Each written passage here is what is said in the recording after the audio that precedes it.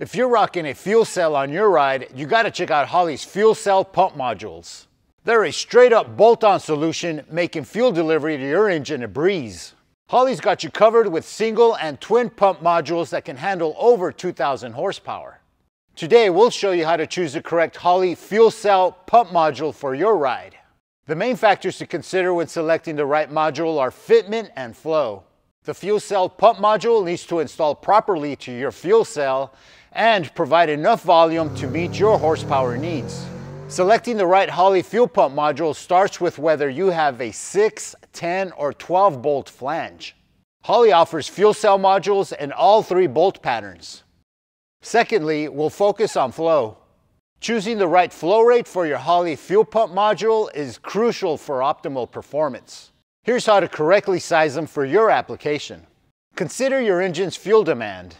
If you have a high performance engine that requires a significant amount of fuel, selecting the correct pump flow rate is essential.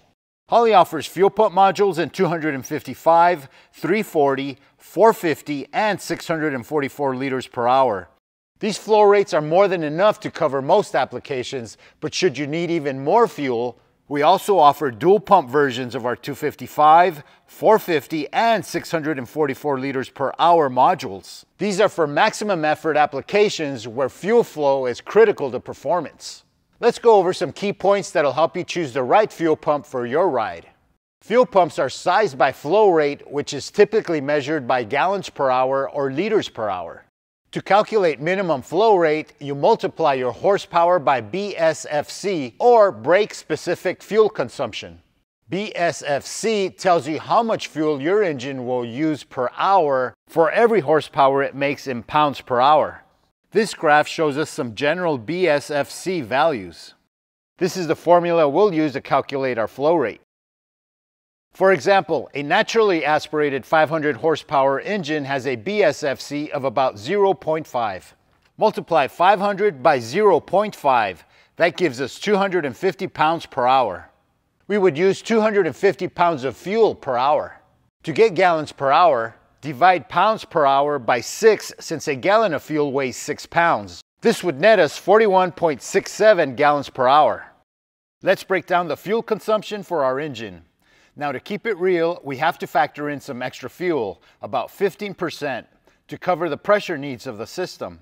So when we crunch the numbers, multiplying 41.67 gallons per hour by 1.15, we land at a solid 47.9 gallons per hour.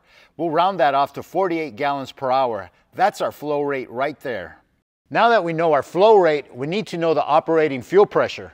Carburetors typically require between 2 and 9 psi, while EFI applications may use 40 to 60 psi. Armed with these two numbers, we can now choose the appropriate pump. Remember that pressure and volume are inversely proportional on electric pumps. As fuel pressure increases, flow rate drops off. Therefore, an EFI engine will require a higher capacity pump than a carbureted engine. The amount of fuel consumed by both engines is the same, but since the EFI engine requires higher pressure, the flow rate will decrease. You need to make sure that the fuel pump you select can flow an adequate amount of fuel for your engine at the required operating pressure. Also keep in mind that forced induction applications will require a higher fuel flow to achieve similar horsepower compared to a naturally aspirated combination.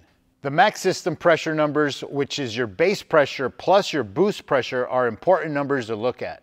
Holley's website has fuel curve charts showing the flow rates for each of our fuel pumps at various pressure readings. Use these to select the appropriate fuel pump for your application.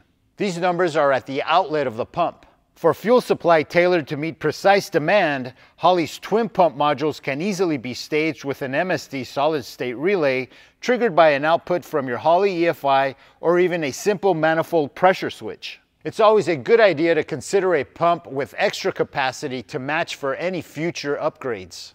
Holley's fuel cell modules come equipped with filter socks that help keep contaminants out of the pump. Make sure to take into account your supply and return fuel line sizes. A good rule of thumb is to match the fuel line size to the outlet size of the fuel pump so your system does not restrict flow. Incorrect line sizing can reduce system efficiency and cause overall system flow and supported power to be lower. As always, you'll need to be using a post filter.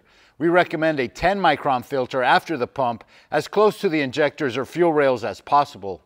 Holley offers a vast array of filters for any of your fuel needs. Thanks for watching. For more information on our fuel delivery products, visit our website at holley.com.